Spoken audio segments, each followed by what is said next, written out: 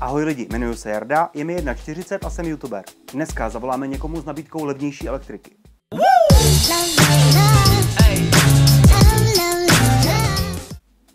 Dobrý den, u telefonu je Jaroslav Kovář, volám vám ohledně bezkonkurenční nabídky elektrické energie.